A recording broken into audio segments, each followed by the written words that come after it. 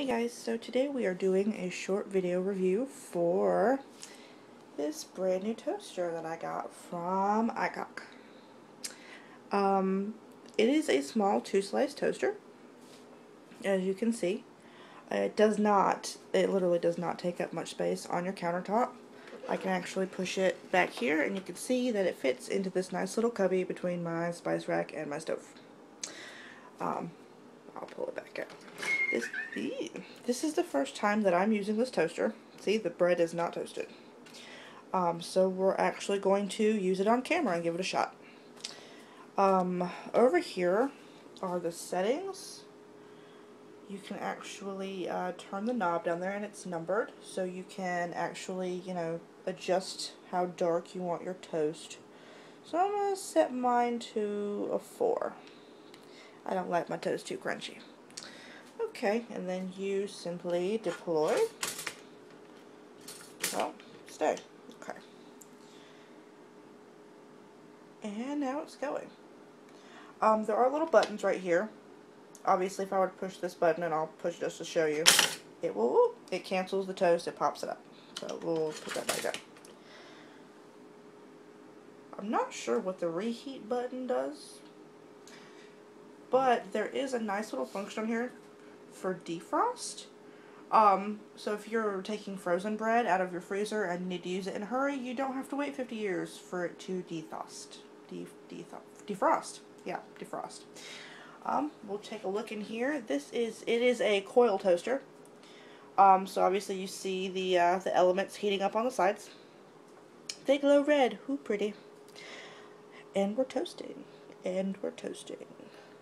Um, the bread fits in there pretty easily. The slots are pretty wide. Um, you could use this for bagels, uh, toaster strudels, you know, um, plenty of room in there. I'm just using uh, generic white bread right now.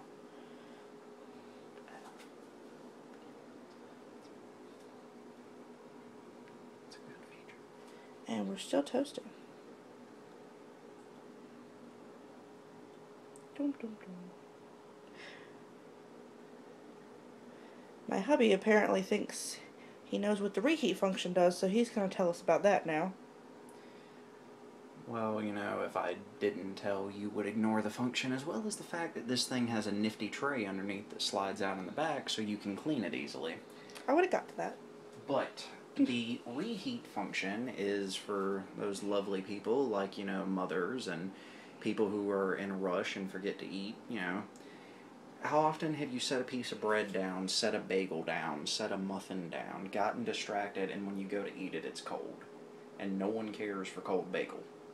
You put it in, hit the reheat button, and it does exactly that. Reheats it so you're not eating cold bagel. Well, that is pretty cool. And we're still toasting.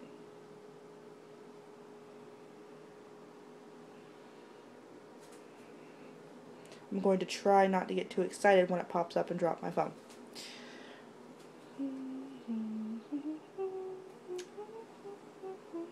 I think this thing's higher heat. You may want to cancel. Okay, we'll hit the cancel button. Okay, yeah.